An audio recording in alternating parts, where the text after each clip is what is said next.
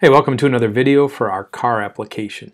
So in this video we're going to add case number three. So in our car so far we've had case one which is add an item to the inventory, two is add it to our shopping cart, three is going to be checkout, and then there's going to be a default. So in a case statement we have a case and then break. Then finally if we don't choose any one of those three, let's do a default and let's uh, tell it uh, something else. Let's just do break. Okay, so the final thing is checkout. So we'll do a print the shopping cart to see everything in it. And then the console write will tell us uh, the total cost of our items. And so s.checkout does two things.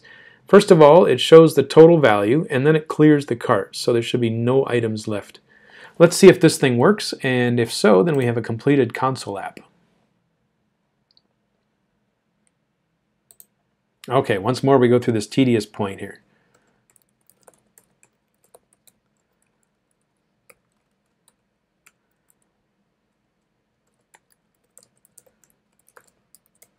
Okay, so it looks like I've created three different cars. I can do Ford, Chevy, and a Chrysler.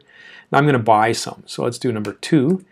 And I'm going to buy a bunch of Corvettes. So it's item zero. I'm going to type in a two again to buy another item, which is item one, Corvette.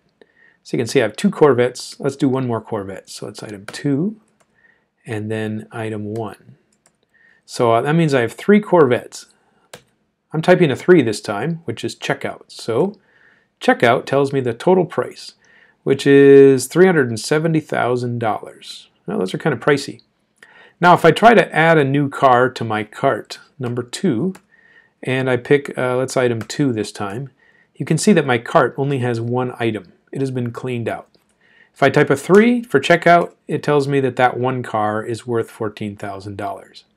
Okay, so this is a really simple application. It shows a couple of important things. First of all, it shows us a class, so we have a car class. Second, shows us a class that has composition in it. So the store has a list of cars.